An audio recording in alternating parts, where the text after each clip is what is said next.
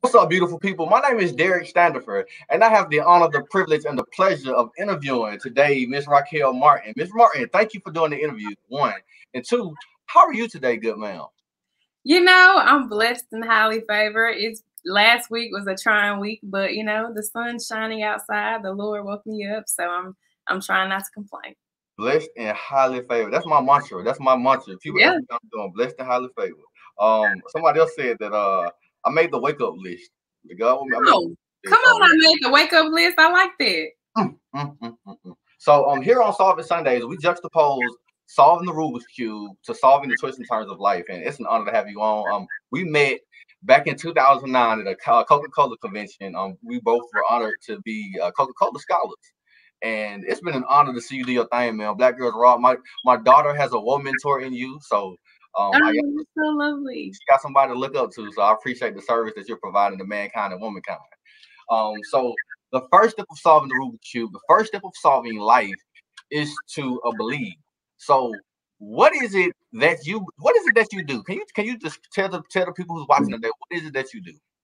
Absolutely. So I'm a labor and employment attorney on the management side, which means I generally represent corporations in all aspects of labor and employment matters.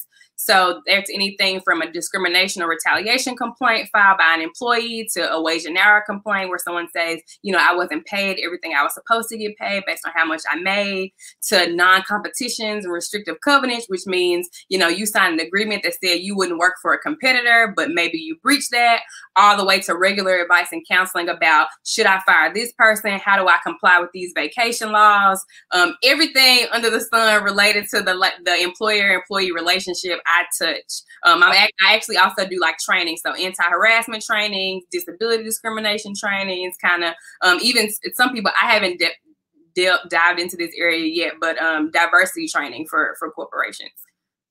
First so yeah, different factors in one practice area first of all, that's amazing. So you, you know, you like the go-to person when it comes to work discrimination, anything work related when it comes to work labor laws. You're the go-to person for that. I think there's a lot of interest in the kind of law that you do. So uh, thank you. It's fun. It's um, it's the juicy. I, I'm a people person and I love solving people problems, and that's all labor and employment. Mm, mm, mm, mm. That was a perfect match. People really? person solving people problems. That's beautiful. It sounds like a uh, it sounds like one of them catchphrases they use for the lawyers. Um, that's not where I got it from. That's just what it is. We we solve we solve people problems in the workplace. That's it. That's what's up. That's what's up. Um, so um, after we after we know the what, the second step of solving the Rubik's cube, the second step of solving life is to solve your cross. Now, solving your cross means to identify your why, the reasons. Um, why is it? Um, why do you choose the work that you choose to do? Like, what got you carrying the torch that you chose to carry? Oh man, um, I tell people all the time I did not set out to be well, I kind of did set out to be a labor and employment, but not like as a child, because I mean, what child knows what an employment attorney is, right? Um, I really decided to be an attorney because I was naturally good at what attorneys are good at reading, writing, analyzing, um, breaking down a big problem into small parts as concisely as possible so people can understand, right? Um, but I tried to keep my mind open to other professions but to kind of be honest, it was the lazy thing to do. I was like, well, I'm already good at this. I should just pursue this profession. Why would I be a scientist and beat myself over the head in chemistry and biology classes that I don't like and don't understand when I could be taking legal or philosophy or English or all these different different um, types of courses? And so when I went to law school, um, I had it in mind that I wanted to be an employment attorney because I actually interned in the HR department of um, AutoZone headquarters in Memphis, where I'm from. And mm. the, the, head of human resources was a labor and employment attorney. And he, you know, had a great job. He was in a leadership role. He had a wife and like four kids. He seemed to like actually spend time with his family. I was like, okay, so I can have like the money and the comfort with with like actually a job I enjoy and still like live a life I want to live. So that's kind of put me on that path. And in law school, I had internships in law firms, and I I let them know that I wanted I was interested in labor and employment and they were like, oh my God, it's perfect because we actually need a young attorney to do that type of work. And so the stars kind of aligned. God kind of set it all into place where what I thought I was interested in ended up opening up for me. And so I, I got to pursue that path directly. And for the last almost five years, that's all I've ever practiced. Amazing. First of all, I think it's beautiful that um that you know your strengths. You stick to your strengths. It's not lazy at all. I think the, I think the smartest thing that people can do is identify their strengths and go in that field, go in that lane. You know, uh, the struggle imagine the struggle of going into a, the science fields and you have, you know, that's not your interest, that's not your passion, that's a life yeah. So thank you for sharing that tidbit, good people. Um, so after we believe in ourselves and after we solve our cross, step number three of solving the Rubik's cube, step number three of solving life is to fill in your corners. Now, filling in your corners means to immerse yourself in a positive environment. What kind of friends do you have? So, could you describe the environment that you immerse yourself in and the kind of people that you associate with? Um, that's a great question. I think the first thing I associate myself, I associate myself with is people who believe in something. Um, and for me, that's usually faith. So I identify as a Christian woman, and um, mind you, my, my friends do not are not all Christians, but most of them all have a belief and a faith and a higher purpose that is that is guiding them. And so when I'm able to, when I'm, we're all facing life's challenges, you know, the first thing we run to, particularly if, if you're a Christian like me, you you run to the Lord and, and you're praying for guidance and like, you know, who do you want me to be in this world? How do you want me to give you glory? How do you want me to to help my fellow man and and and give my life purpose? And allow my life to to help other people. Mm-hmm. Um, and bring, I tell people all the time, my I don't have a dream job. Like I enjoy my work. Um, when people use me, "Are you passionate about it?" Like absolutely not. Um, I'm passionate about helping other people make their dreams come true, and mm-hmm. it just so happens that I'm able to do that in this role. Usually it's with law students because those are the people that resonate with, with me the most, and I'm uh-huh. able to help them the most. But I've also, you know, mentored, you know, young people, whether they be high school or college students, they have no interest in the law and being able to kind of use my connections and relationships to do that.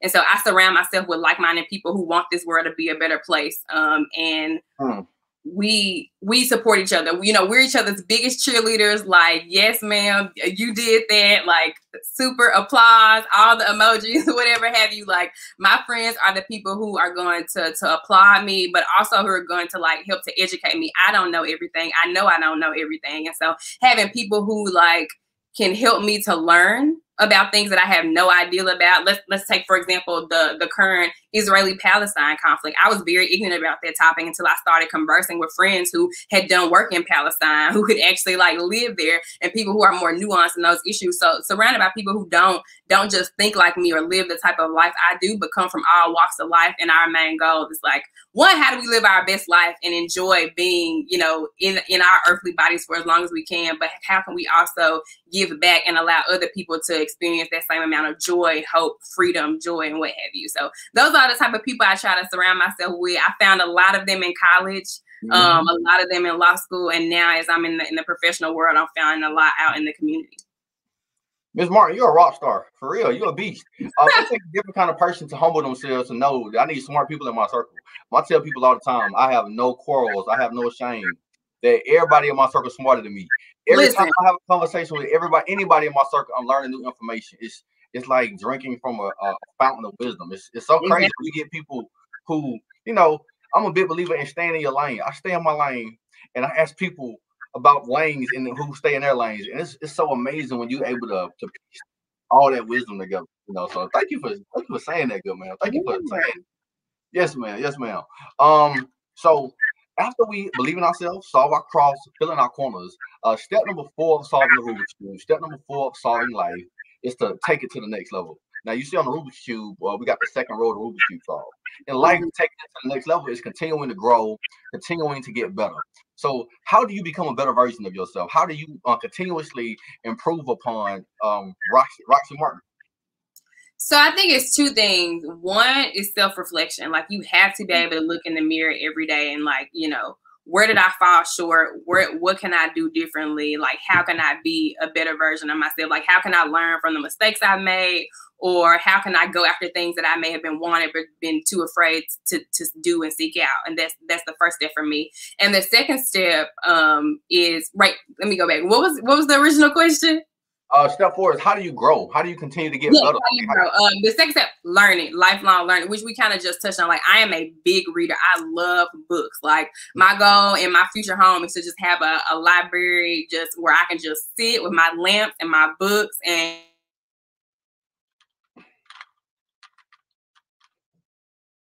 long time to get out. I used to only read fiction, and it took me into law school to be like, okay, you can't learn. I mean, it's great to have an imagination and have a, a place to where I can escape, which I've been doing, which I've been doing since I was a, a, reader as a child. But it's like, okay, you're an adult now. You need to really learn about things that you don't know or things you may be interested in. And so it started with reading books on like personal finance and, and real estate, and then getting into okay, let me read about more cultural things or about kind of like um, you know how our society is set up about race relations or or things but I'm like I said I'm a faith-based person so reading about different religions and faith and the history behind it and so um, that's one way that I'm always growing just always learning and then always um, self-reflecting and also allowing other people to reflect back to me. So asking my friends those people in my circle like where can where can I do better? Like where can I push myself? Where do you see me like falling short that I may them that I may be blind to Mm. It's so crazy when you have quality people in your circle. You can humbly come to them and say, "Look, can you analyze me? Can you do an audit of me and, and fill, fill, in the holes for me? Where can I fill in the holes at?" And I've started learning the, pra- the practice of delegating to people who know what they're doing, and it means the world. That that investment means the yeah. world. do things that took you years to do. And just because you sought out some wisdom, they can, you know, you, you figured out how to do it in, in weeks and days. It's so crazy. So um thank you for sharing that. You are a phenomenal interviewer. Your, your, your answers are on point. Um, your energy is dope. I'm great to love you, good man. Thank you for that. I'm just um, trying to tell the truth. and be so, as honest as possible. Yes, ma'am. Yes, ma'am. So, um, the fifth and the final step of solving the Rubik's cube, the fifth and the final step of solving your life is to see the bigger picture. Seeing the bigger picture simply means to keep your commitment to your commitment. Now, you can see on the Rubik's Cube, the cube is officially finally solved. Um, I'm amazed. Let me just stop you and say I am like completely amazed by you being able to. I've never been able to solve a Rubik's cube, and I used to have one as a kid because my mom was actually good at them. Um, and I just could never figure it out. And I used to get so frustrated. I'm like, what is wrong with me? So I'm like sitting here amazed at you right now. Just you just like talking and, and figuring. And so uh mine is blown. Uh, we might have to give me a tutorial based on your five steps so I can actually figure out how to solve one. what is so crazy? Um, shameless plug. It's so crazy. Um, I actually launched the Rubik's Cube Club. My daughter, she's six. Ayana, six years old, and she learned how to solve the Rubik's Cube last year. Uh, she can solve it in about three minutes now. Um, so I'm actually expanding this opportunity to other people. I just started the Rubik's Cube Club and just made my first post about the Rubik's Cube Club maybe 30 okay. minutes. Yeah, yeah, yeah, yeah, yeah. So uh, definitely, if you want to get a partner, we got you. I can we can set it up. It's so easy. It's matching, it's matching colors. How long? What? I said I might have to do that again. This is like a lifelong thing for me. I'm almost 30 years old, and I have always wanted to be able to do it, and I have never been able to do it. Let's check it off the bucket list, good man. Let's do that. Um, yeah. So um, keeping your commitment to your commitments. How do you keep your commitment to your commitments?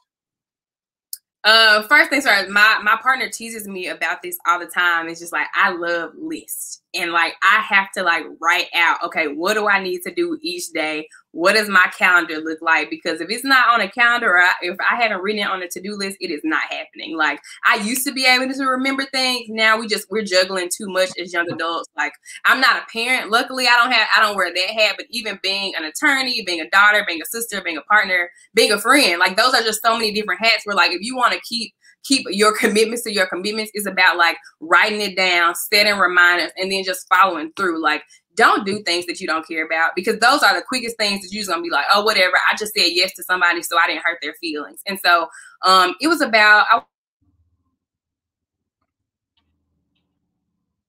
where I'm like, why are you doing the things you're doing? Are you doing it for applause? Are you doing it for clout? Are you doing it to look good? And if and all of those negative reasons, I was like, okay, it's time to eliminate it. Like, what are you doing to one bring yourself happiness? What are you doing to serve your community? What are you doing to bring God glory? Like all those things kind of have to align. And that's when I say, okay, I'm committed to to making this happen. I'm committed to leading this organization. I'm committed to being a volunteer. I'm committed to doing this interview. Like those. And so when I'm doing things that I actually care about that are important to me and that impact people, it's easy for me to be like, one, I'm gonna write it down on my calendar. I'm gonna put it on my to-do list, and then I'm gonna follow through. So it, it, it's that mm. simple. Write it down.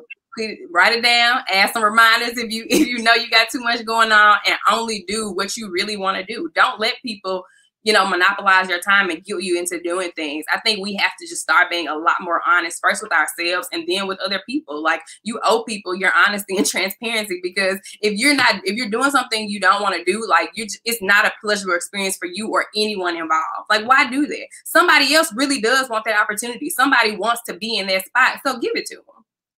Come on, come on, Miss Martin. Come on, Miss Martin. Thank you for the blessings. Uh, I want to say two things. So, TD Jakes, um, he has this sermon about how he can't overcommit himself to too many things. He said, I can't be a pastor of two churches. It takes so much time for me to be an effective pastor at this church.